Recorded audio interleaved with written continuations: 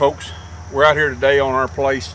Um, this is the unused portion of our property. It's, it's in the back here behind our house, the front side of our house. We've redone all the fences. Um, as you can see over here, we've been tearing out uh, welded wire. It's two before welded wire, which was what was on the property when we got here. And today we're putting up some temporary fence and we're gonna try and run a three strand um, temporary fence for our horses. This lot here has got quite a bit of grass and we're gonna we're gonna take and, and get them turned in here temporarily. This fence probably won't be up for more than uh, a year or two. It's really hot out here today. Uh, we're sweating away. Maybe a year. Um, we're doing some excavating work, pushing some dirt around out here with um, uh, bobcats and backhoes and that sort of thing. So what, what we're going to show you here today is for a temporary fence for something that's, you know, a year or two years. You don't want to build a big corner. I'm going to eventually put uh, fence all the way to the back back of our corner. You can see now it's all growed up. And we just want this in here to keep the horses in so they can have access to the grass back here. So what I do is this is an inch and three quarter timeless fence post. We we have these available for sale uh, if anybody'd like to contact us. Um, these are a non-conductive post, so they're real good for electric, temporary fencing, uh, permanent fencing. We have them all over our place. And instead of building an expensive corner or even an elaborate corner, and we've got several corner configurations to choose from, I'm just gonna take and put this post at about in this corner. We're, we're coming down this fence row, going down this fence row, or making a new fence row. And I'm gonna put this post in at an angle and I'm gonna drive it down about 16 inches. And I've driven it at an angle. And when we string our electric rope, we're using an electric poly rope. When we string it around, we're gonna pull this post up straight and it's gonna act as a tensioning uh, mechanism on our fence and it holds our corners up. We do this quite often in temporary pens and temporary fences. So we're gonna go around our boundaries. We've cut down some weeds here. We're gonna go around our boundaries, putting these corners in at an angle, our inch and three quarter post, at an angle as we go around. So here in East Tennessee, this grew up with just in just a few uh, weeks. It really didn't take it long to grow up and, and get overgrown with weeds. Weeds grow pretty quick. Um, we had horses in here before and we had a temporary uh, panel fence up cattle panels uh, or corral panels. We took those down and now we're going to be using our poly rope. Um, and it doesn't take long for it to for it to take and grow up. So we just kind of knocked it down with uh, with just some hand tools, shovel, machete, that sort of thing, just to get our our basic outline. The horses will pretty much do the rest. Our horses, they they stay in anyway. Uh, they'll stay in it if it's hot or if it's not hot but we are going to electrify two of these strands. So we're going to put this post in at an angle.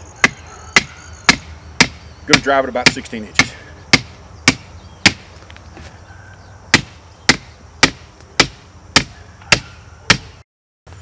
So this is where we're going to turn and we're going to go back the other way. So our, our corner is going to be the other way. So we don't want to put it like this. We want it to be into our corner. And I'm running it so that it bends back against the, our flat. Every one of these you can see the bend is back against flat. I could run it like this, but when I'm turning an inside corner, I prefer to turn it like, like so. And I'm just gonna, I'm running about a 15 to 20 degree angle. May have hit a rock. Just change my position, go again.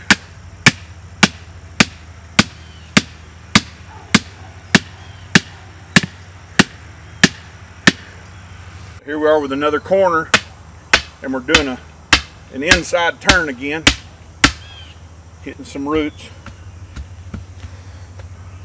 Trying to find a good place to drive this post in. A lot of people ask, what do you drive a timeless post with? You can drive it with a hammer. You can drive it with a regular driver. Um, you can take a look at this. I've been beating on this here. The post is not even fazed. So you can drive it with about anything. There's a marker down here on the post and I've come up against a solid rock there's a marker and that's what I've been looking at down here every time I look at the post. They put a tag on the post at the factory and it marks where 16 inches of depth is at. As you can see this one didn't go down all the way. We like to drive it to the marker that's 16 inches or should be. So that's where we like to drive it to.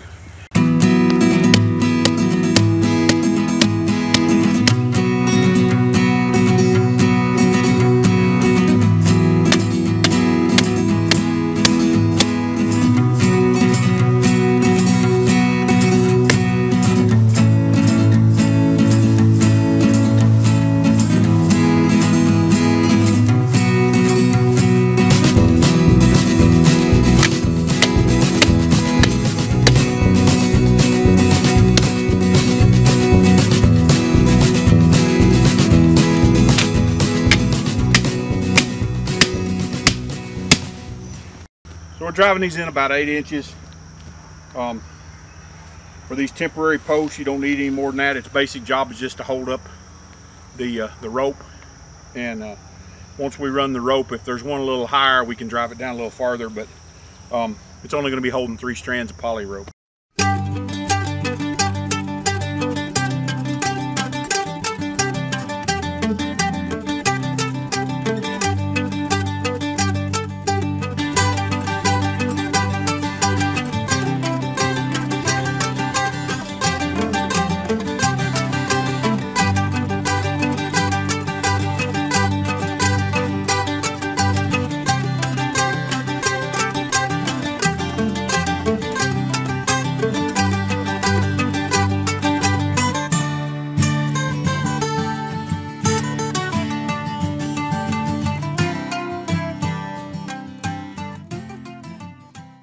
What we're trying to do right now is get a measurement for our temporary gate. And what we're going to be using here is our inch and three quarter end fence. Um, it's probably going to be somewhere about right there. I really love this gate. It stretches. So we're going to install a, a, inch and three quarter uh, termination fence here.